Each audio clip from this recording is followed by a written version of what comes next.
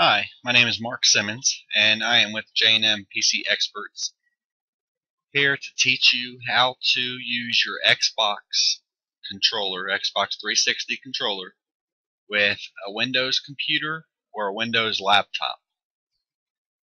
And yes, it is possible. Uh, we decided to make this video um, because there's been some people that have said that it's not possible and it's really easy. With a wired controller, you don't need any special adapters. It, you download the driver, you plug in your controller, and play away. Just go to, you can click on the links below, or you can go straight to Microsoft. Um, you can either go to products or downloads. Um, we're going to go to products, and we're going to go to Xbox, and then you can go to the the controllers and this is where you're going to be. There's going to be overview, details, and support. You want support.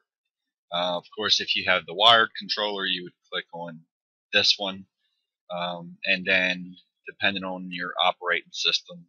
Now they haven't released the driver for Windows 8, um, but I have checked to make sure the Windows 7 driver works for Windows 8. Um, and of course, if you got XP 64-bit or XP Service Pack 2 or Service Pack 3, then you would choose this one. And of course, uh, Yucky Old Vista has a driver as well. Um, and then you just click, you'll see where it says uh, EXE.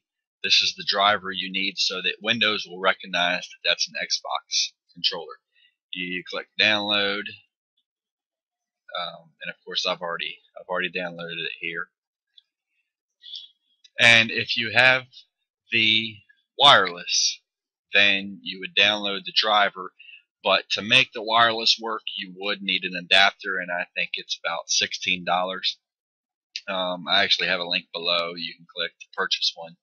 Now, this is not uh, a Microsoft adapter, but yes, it does work, and yes, we guarantee it'll work provided you install the driver first. And of course, if you need any help, don't hesitate to ask us. We're here to help. Um, but of course, then you would choose your operating system just like with the wired. Um, and then make sure that if you have 32-bit, you select 32-bit. There is a difference. And if you're not sure, um, you can just go to Start, Control Panel, and this is the same way with XP or Vista or Windows 7. Um, then you want to go to System, and it'll tell you right here system type 64-bit operating system.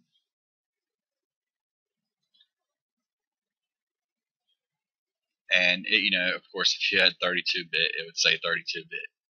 Um, now, if you're running Windows, if you're running Windows 8, you have to, unless you've added the Start button, you'll need to take your cursor all the way to the top right and you'll get that menu and you go in the settings and then control panel.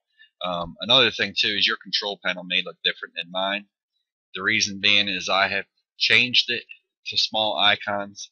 Um, more than likely you are category and then of course you would go to system and security and system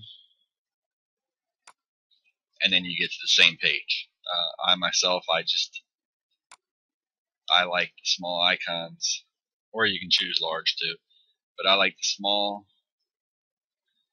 Uh, and of course, if you want to change that, you just click and then small icons. Uh, now we have downloaded the driver. Before we plug in the controller, we're going to click it I'm using Google Chrome. If you're using Firefox or Internet Explorer, you'll have to double click it. Run.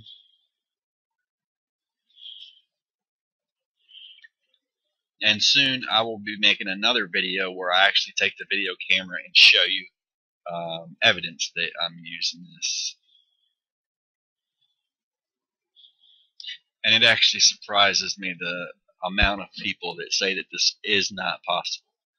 Um, if anybody knows anything about us, we make everything possible. and we teach you how to make it possible. And then while this is installing, you can change the controller settings inside your game, um, but you can also do it in the control panel. Um, tell you that while we're waiting. Uh, and I, actually, I'm going to go over um, once this is installed and we plug it in. I'm going to go over the control panel settings as well. And again, during this, if you have any problems, do not hesitate to either contact me on YouTube, Facebook, email, telephone, because whether it's this or something else, we're always here for you. You have successfully installed the Microsoft Xbox 360 accessory software. Press the guide button to show the status of your device, except when you are playing a game in full screen mode. And then you don't really need to register online. Just click finish. And that is it, my friends. Now we are going to plug in the controller. And I have a wired GameStop Xbox controller. Whether you have the Microsoft controller, the GameStop, um, I'm not a big gamer, so I can't remember the name of the one company. Mad Catz, that's it. Um, if it doesn't matter what controller you have, this will work and uh, let me show you it's you see right here where it's installing we can click that and it's going to tell us the status. Um, now something I've noticed is sometimes um, and you can see gamepad for Xbox 360 uh, but it's checking Windows Windows Update now. A couple of times I have done this and I've actually had to go into the control panel and update the driver that way. Um, and, I'll I'll go over that mm-hmm. here um, in a little bit as well. And you can see that that's ready to use. It's installed. Now it's installing uh, the controller drivers. Like so, it's recognized it um, and installed part of it. I believe this one actually takes two drivers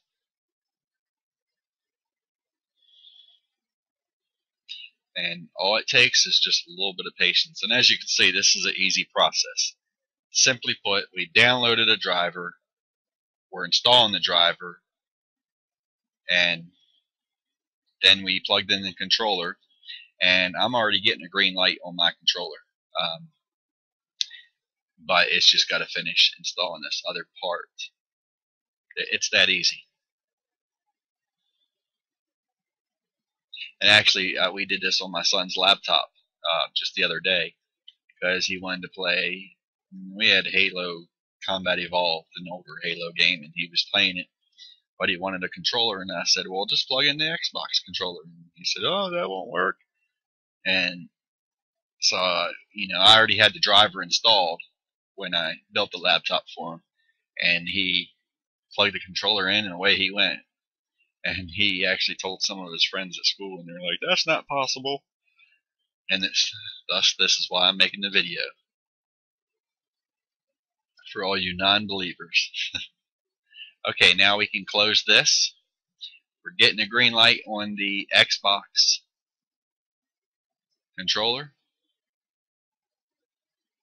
And now I just have to remember how I found it before. I believe Oh, bear with me for just a second.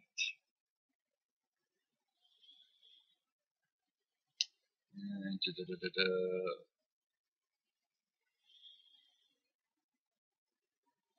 Maybe, uh, you know what, it's probably devices and printers. I was probably thinking of XP.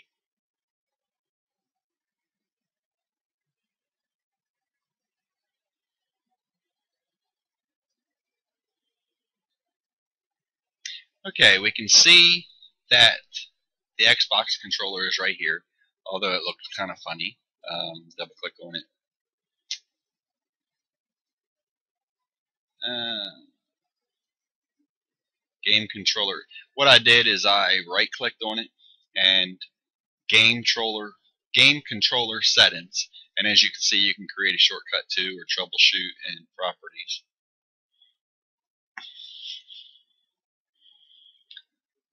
Uh, status okay. And we then we can go to properties um, and we can calibrate it test it um, and so forth. And if you go to change any of these settings and doesn't seem to work right then just click on reset reset to default. And of course you can calibrate it uh, really with the Xbox controller you don't need to calibrate it but uh, you know it wouldn't hurt. It just take you through the steps you'll have to move and you'll have to hit the buttons blah blah blah and do all that and that's it well let me just let me go back into that uh, yeah and this right here this is what I there was one game I think it was um, like test drive or need for speed or something I had to actually go into advanced and make that the preferred device. Maybe I had a couple devices and that's why. But if you do have a couple controllers and you want this to be the preferred device, the automatic one, then make sure that's selected and just select OK. Um, and we're going to go under test. Um, and as you can see as I'm hitting these buttons, it's working. Um, as far as the numbers and the letters, I'm not sure. Let's see. Let's think A is 1. This is A. Okay, B is 2. X is 3. Y is 4.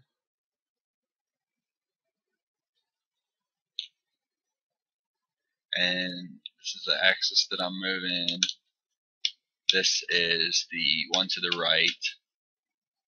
And this is the D-pad. Yeah, that's this is the top right button labeled RB, left B, and then the that's your triggers. Yeah, back is seven, and start is eight. So as you can see, it's it's it's working for all those people that said it's not possible. And so now you know how to install it, install the driver, where to get the driver, how to install the controller, and to adjust the settings. Now the um, the wireless controller is the same way. You have to install um, the driver that comes with your adapter. That's so that Windows recognizes, your computer recognizes the adapter. And then you have to install the driver for the controller. Uh, doesn't matter which order you do that in, but I would recommend install the driver for your adapter and then install the driver for your controller, which you which you get off of Microsoft site, and then plug in the adapter first so that you can pair the two um, together. Now, I don't have uh, a wireless with me. Um, maybe later on I will make a video um, showing you how to do that. Um, and that I'll do with a, a video camera as I'm going to do later on showing people that still do not believe that this works actually having a video camera and uh, you know showing you that way. Now all the links are um, down below, um, and if you have any questions, you know don't hesitate um, to comment. Now if you don't like the video or whatever, I really don't like negative comments, but to each their own. If you feel you have to, go right ahead. Um, and I think that's about covers it. If anybody runs into problems, don't hesitate to comment on the video um, so that we can post the the answers where everybody else can see as well. Thank you for your time, and we appreciate any any likes that we get or any video shares, as this is something that a lot of people uh, could use. Everybody have a great day and enjoy playing with your computer or laptop with your Xbox controller.